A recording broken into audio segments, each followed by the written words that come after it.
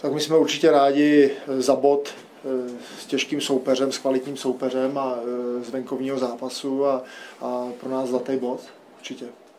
No já, já jsem zklamaný, to řeknu na rovinu, protože je to zápas, co zápas takřka podobný.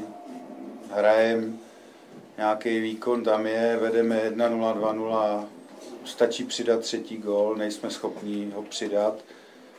Do třetí třetiny jsme nastoupili, že se nám nemůže nic stát a bohužel se stalo. Myslím si, že ne, vůbec nechci snižovat výkon Prostějová, ale řekl bych, že jsme jim dodarovali ten bod. A ještě v závěru prostě zase se necháme vyloučit 4 minuty do konce a tam to vlastně začalo, že oni se dostali do tlaku a, a podařilo se jim dát gol na 2-2. Samozřejmě jsme rádi, že jsme aspoň vyhráli penalty, ale myslím si, že jsme měli mít tři body.